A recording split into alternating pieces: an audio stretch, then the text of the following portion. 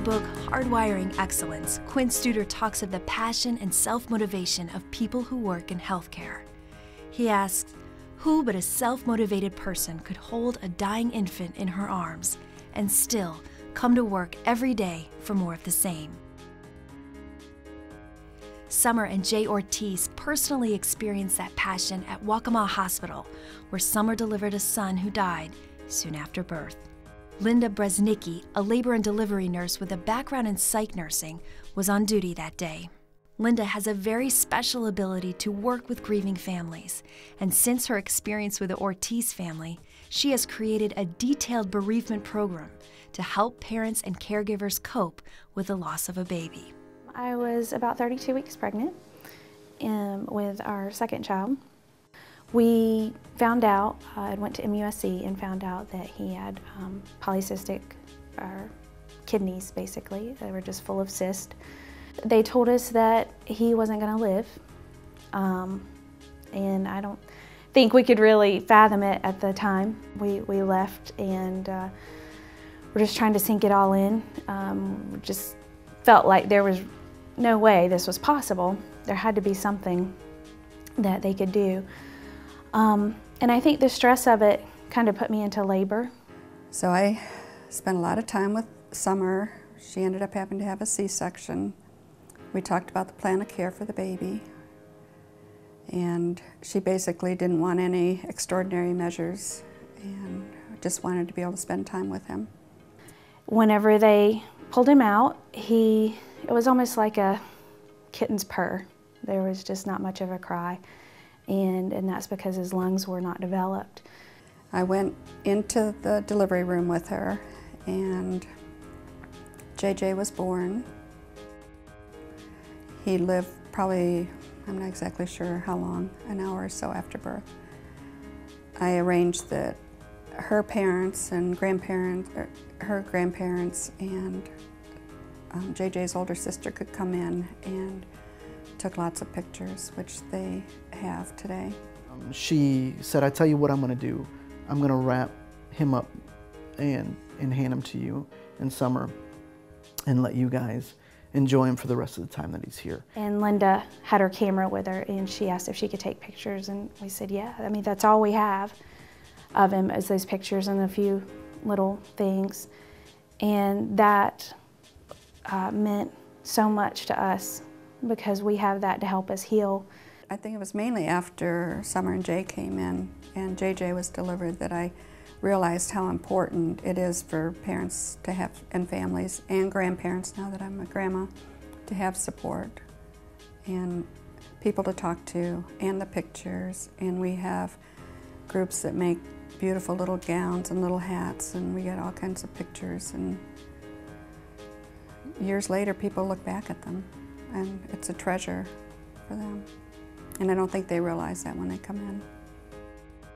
Non smoker John Sanders was shocked to learn four years ago that he has stage four lung cancer. But the disease hasn't slowed down the administrator of MUSC's Children's Hospital in Charleston.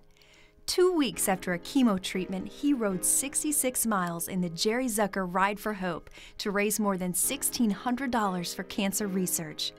John also uses his personal experience following major surgery to help caregivers better understand the emotional needs of patients and families. But I woke up the second night and it was extremely difficult. And my first thought was, why can't I pass out? Because I couldn't breathe. Pain was fairly intense.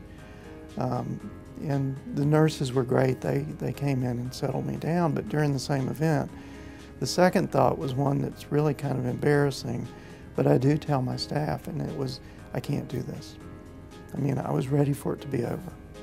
That is embarrassing, and the next morning I was sitting in, in my uh, room, because they, they, they get you up early, and uh, surgeons like to come in really early to round. So I was sitting kind of in the dark, and I was, I was kind of angry about the thought that I'd had.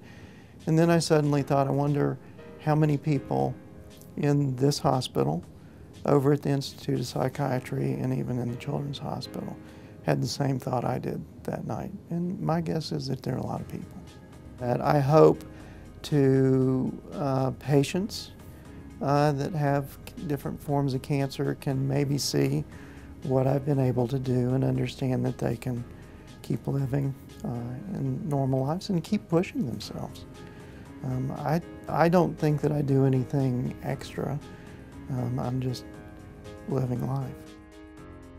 Thanks to some very special mentors in his life, Raymond Bynoe had a dream to become a surgeon. Today, he is paying it forward by helping and encouraging children to work toward their dreams. Since 1987, Dr. Bynoe has taken realistic evidence about dying young, or his READY program, to thousands of kids. We decided to come up with the program Project READY, and it's real, realistic evidence about dying young. And that's how we came with the name. And the name talks specific, specifically about making appropriate choices when you're out but it also is, we expanded the program to say, let's think about things that you can do in the hospital. Sometimes folks have never seen, uh, particularly so African American physicians, and particularly so surgeons, and so it was an opportunity for exposure.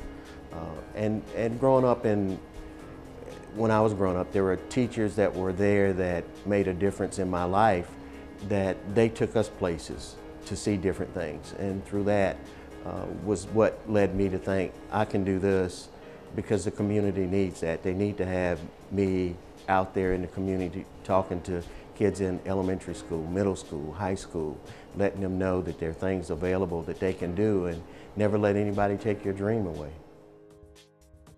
Our next story is about another surgeon who has practiced in Pickens, South Carolina for nearly four decades. Dr. James Mahanes even served a term as coroner. His experience makes him acutely aware of community problems.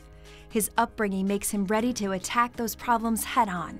That's how he came to lead the Prescription Narcotics Task Force of Pickens County. There was an awful lot of prescription narcotics uh, Uh, being prescribed.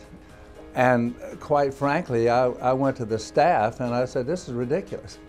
This is just absolutely ridiculous. We, have got to do something about this. So, you know the way it is, you make the noise, you get the job. We, we wanted to get the physicians to recognize that they were making it too easy. But we felt like we had to give them resources uh, that they, they, could use to go and get help uh, uh, that, they needed. But we had a recovering addict come to one of our meetings and um, she discussed her problem and whatnot, but she was a local person and she revealed to the group there, she says, look, the word's getting out. You don't come down to Cannon to get narcotics. Neither snow, nor rain, nor heat, nor gloom of night keeps this courier from the swift completion of her appointed round. No, Julia Evans is not a mail carrier. But after 43 years on the job at Carolinas hospital system in Florence, she has never missed a day she was scheduled to work and has never been late to work. Even a snowstorm in January 2011 could not keep Julia away from the patients who count on her. Um, I was off that day. Miss Rona called me that afternoon, said, Julia, do you want to come and stay at the hospital? I told her, no, she said, you gonna be here? I said, yes, I will be there. So we hang up. That next morning, I got ready. I got my coat, my hat, my stuff, and come on to work. The car couldn't move because it was the snow had it pinned down. So I said, oh well, I'll start walking. And I started walking. Well, I called up here about 6.15. Um, Julia's shift doesn't start until 6.30. But Julia already answered the phone, and I said, Julia, I'm just checking to make sure you made it in. And she said, oh yes, Miss Rona, I walked. And I said, well, thank goodness that you're there, and um, you know, that was really extraordinary. And it wasn't until I came into work a little bit later that I heard the whole story, that she had anticipated driving to work and her car wasn't able to maneuver in the weather, and so she did actually head out to work um, in her boots and heavy snow jacket and um, got here in plenty of time to make sure the patients got their breakfast. Laura Purdue and Jennifer Schlett manage day to day operations of the Emergency Department Intensive Care Unit at Summerville Medical Center. When they noticed people coming to the emergency room in search of food, they decided to do something about it. Laura and Jennifer started the HEN Project, which stands for Hunger Ends Now. The project teaches members of the community sustainable gardening techniques. They donate the food they grow to local food banks and churches. We actually have a nonprofit project going on in our hometown of Moncks Corner. It's called the HEN Project. It stands for Hunger Ends Now. And we started it um, basically because we saw a need. We saw people coming into our emergency department who were trying to do nothing really but get food. They're having to choose between being able to pay their rent and get medicine or being able to get medicine or feed their families. And what we have power over is to be able to feed them. We know how to do that. So that's where we started. Um, we went to the town. They allowed us to use three and a half acres right in the middle of Moncks Corner in the town part. Um, we've also planted raised beds there. We have 88 and we've donated everything that we've grown so far. The HEN Project, um, it is a community garden. We do it to help people, to feed people, but really we want to spread the idea. So, because everybody can do it, it's not hard. We've been able to grow for for the summer and this this winter or fall crop right now, almost 2,000 pounds of produce that have been, and we're not done growing for this season, that have been donated. I think that hospital people just genuinely care about people. I don't think that that they would think that it's doing anything special. I mean, you're caring for somebody. You're trying to make sure that the person as a whole is cared for all the way up, whether they're children, whether they're seniors, whether they're in your hospital, whether they're outside of your hospital. And I think they're just, when you go into healthcare, you, you are just generally concerned about the well-being of people. I don't think it's anything special at all. I just think we happen to do it. The seven people represented in these six stories are amazing, yet they are not unique. They are members of a special breed of individuals, those who dedicate their lives to caring for others.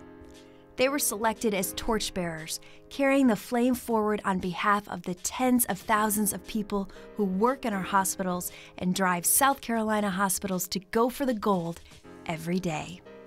I just think part of being a nurse is really truly caring about your patient. What used to be a clear death sentence is not so anymore, and uh, there's a lot of hope in the work that's done in hospitals like this, um, and I'm a good example of that. She puts her job first, and more importantly, she puts her patients first because that is her job. This is not a job for me. This is a calling. Uh, if if I got nothing in terms of financial gain for it, I'd still do it every day. I don't think I'm amazing, but uh, amazing things happen every day in my life um, here at the hospital with, with people I see. And Open your eyes and look around you. And once you see somebody do something very small, it's something this small can make the biggest difference in somebody's life.